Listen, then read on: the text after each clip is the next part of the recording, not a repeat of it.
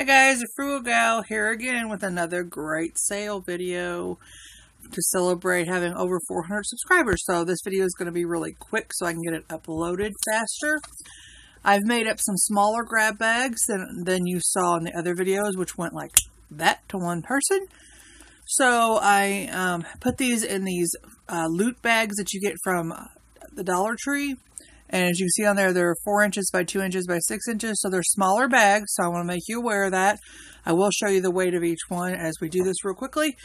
Down in the description of what this video is about, I'm going to put the number and what is in each bag. As far as some of these are just grab bags, but some of these have specific items in them. In them, like a theme, like some are just pendants. So I will put that down there. If you're interested, in the comments, leave which ones you want the number of which one you want. And I will also put down there in the description how I accept payment. So please read down below. So let's get started. The first grab bag is this one. And this is number one, and it is just pendants. Now, of course, all these grab bags, like you can see back there, are $1 each. I don't know if I want to go through and actually weigh all these, but I wanted to give you guys an idea. So that's 7.1 ounces. They're all going to be within the weight limits of being mailed first class. Okay. Number one is all pendants. Number two, this is just a grab bag. It has a very varying items in it.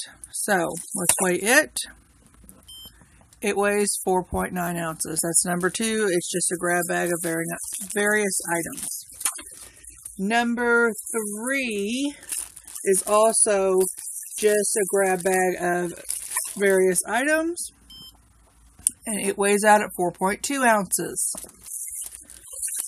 Grab bag number four.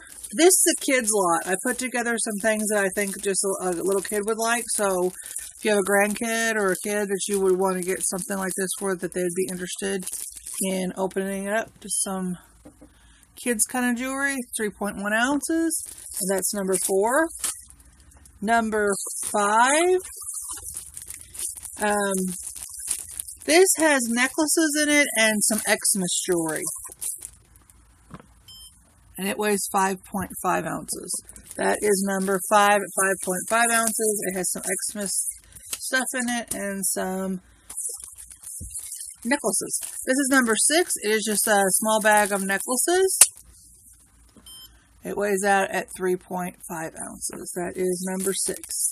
Number seven is just a grab bag of various items.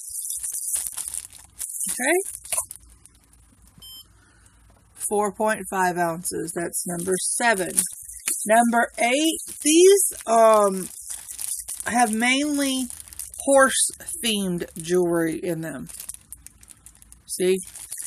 So that weighs out at 3.4. That is number 8. And number 9, if you go back and watch my video, I think it's called A Different Kind of Jewelry Jar, where I had a jewelry jar that I opened up and it was nothing but watches. These are the leftover watches I have that I didn't sell. They do need batteries. As far as I know, if you just put a battery in them, they would work. I already made my money and profit off of that jar selling the ones in there. So this is a dollar for a bag of watches, and that's number nine. Weighs 4.8 ounces. So this is a short video, guys. Remember, they're all a dollar. Thanks for watching. Get in here quick and get these deals. There'll be more coming up this week. Thumbs up. Thanks, guys. Bye.